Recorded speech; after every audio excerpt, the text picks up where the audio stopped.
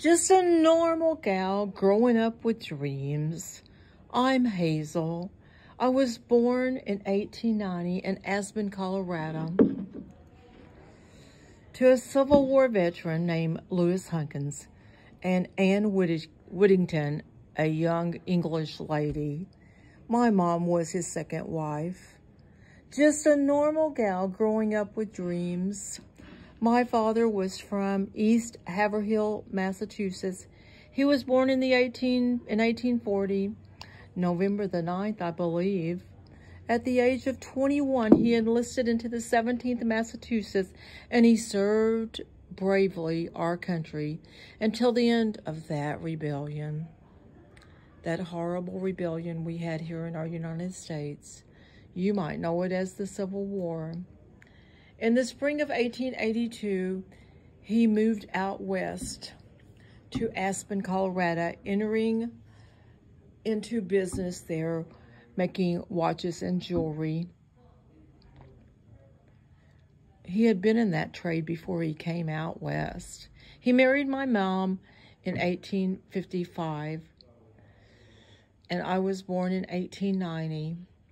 They removed from Billings a couple years after I was born. And they went to Billings, Montana. He engaged in that same business there in Billings, and he was very successful. However, one day he was struck ill. Oh, it was a sad day. Oh, my golly. He had pneumonia, they said.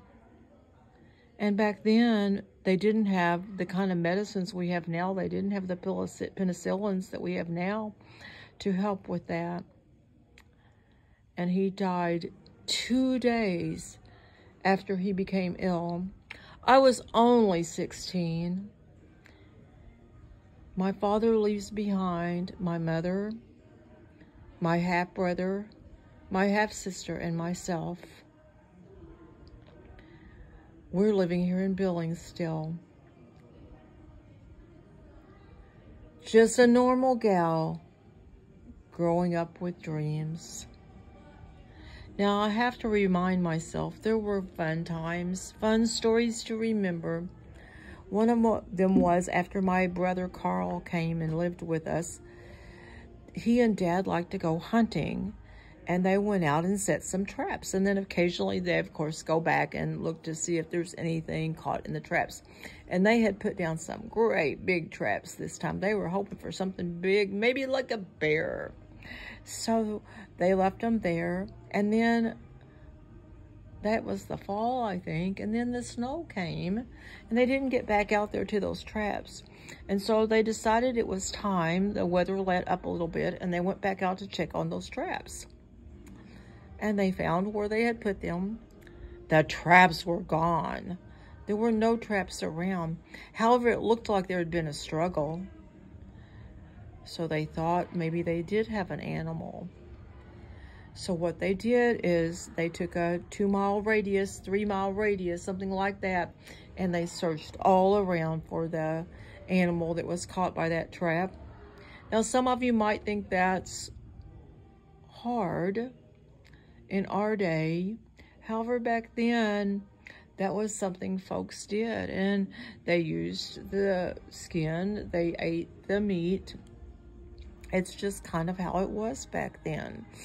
Um, so they were a little discouraged because they could not find the animal.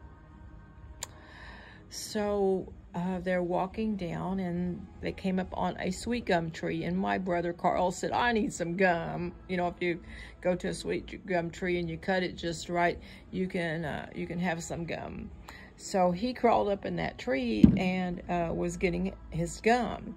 So my father laid his rifle back against the tree and um, he leaned up against that tree and he's just looking around, you know, just kind of wasting time. Oh, his, his rifle was a Winchester, I think. That's kind of what I recall. And he looked up in the tree nearest him, just, you know, right across from him. And he looked up and he's like, oh my, oh my, I found our animal. Yes, I did. the bear was in the tree. It was almost gone. So he took out his Winchester and shot the bear. The bear fell down to another limb, but the um, bear went on one side, most of him, and the traps went on the other side. So here we are up in the air is dangling the bear and the traps. So now, what were we to do? You know, what was dad to do? I'm telling it like I was there, but I'm just telling dad's and Carl's story. It's 20 feet above the ground. We can't get that. We can't go up there and do anything. So we walked for two, they walked for two miles and they got an axe and they came back and they cut down that tree. And then they drug that bear home. And like I said, we used up what we could of the bear for food and, and the skin. And then dad had the head mounted and put it into um, a piece where he could have it at his shop. He made a rug also he had a great time in his watchmaking shop uh, showing showing that piece off. Just a normal gal growing up with dreams. So in 1903, I was considered the most popular and the second smartest and the third most conceited out of all my classmates.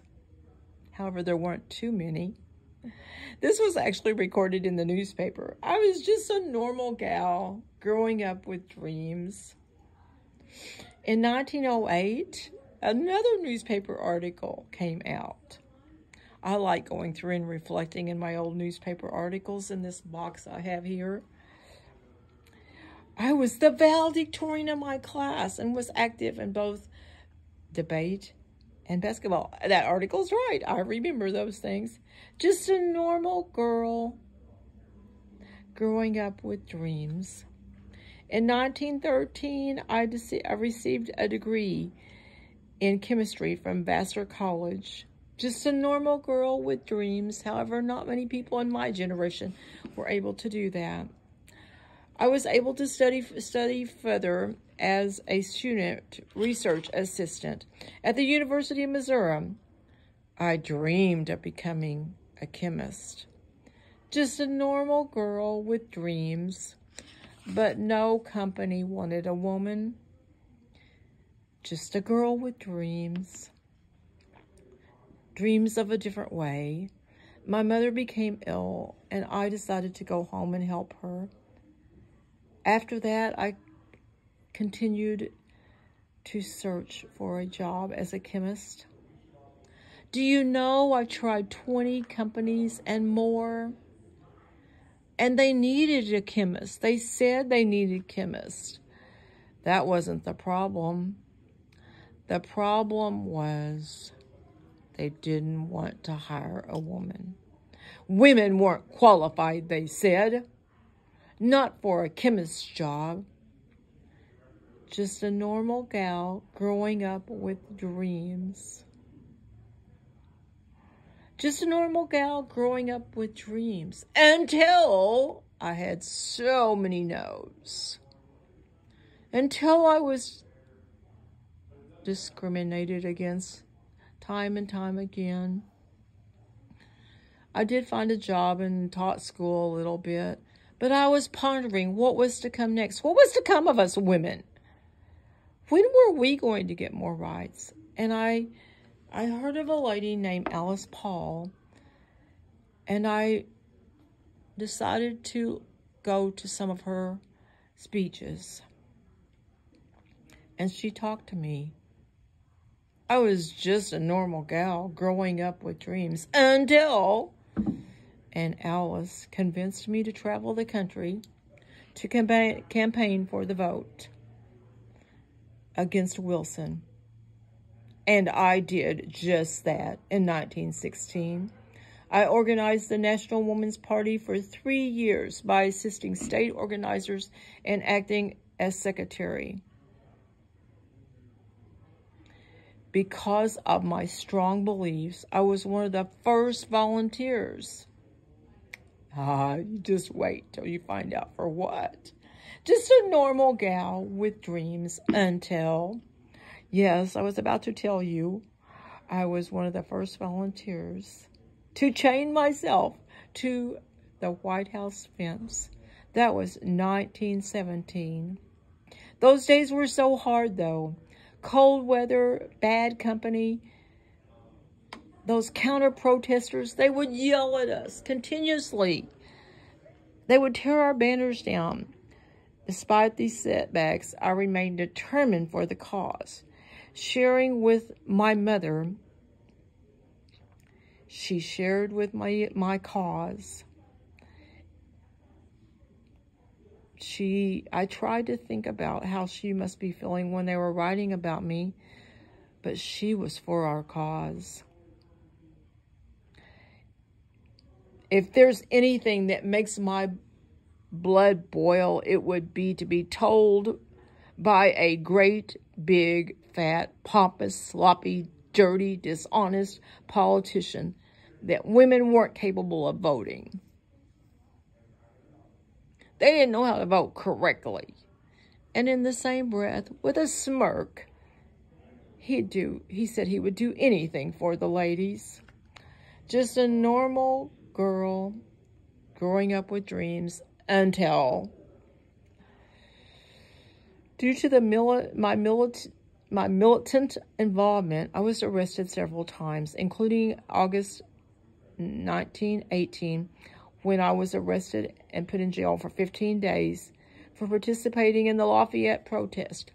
The authorities arrested suffragettes that were picketing, even though it was the counter-protesters that had begun that ridiculous destroying of signs. Just a normal gal growing up with dreams until